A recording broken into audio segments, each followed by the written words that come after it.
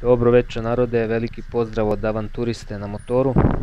Dobrodošli u novi video koji je malo drugačiji od ostalih jer u pitanju je noćna vožnja, idemo malo po gradu da se vozimo. Uvalite se u vaše fotelje, krevete i uživajte u nastavku videa. Jer ja uživam u potpunosti u ovoj vožnji, a nadam se da ćete i vi uživati u ostatku videa.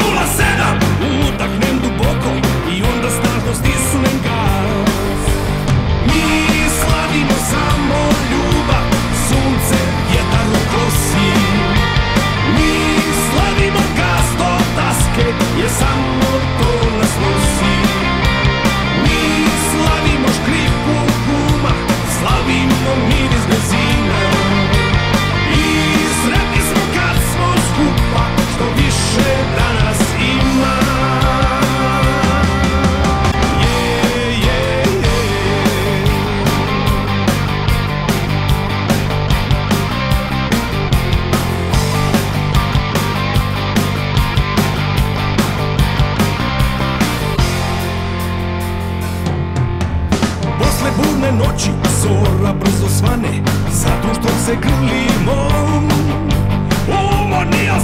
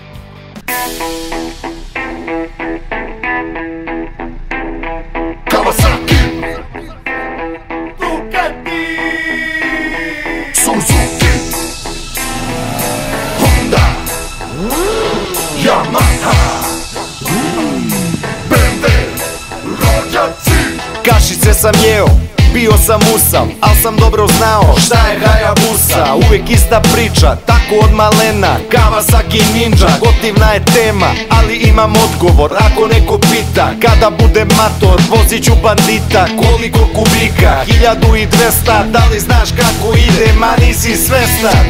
Ajde Ajmo, kažu jedi voće, ima vitamina. Mama neću voće, daj mi adrenalina. Stavio sam kacigu, obuo sam čizme. Imam nove gume, znači neće da sklizne Obožavam krivine, tu se dobro snalazim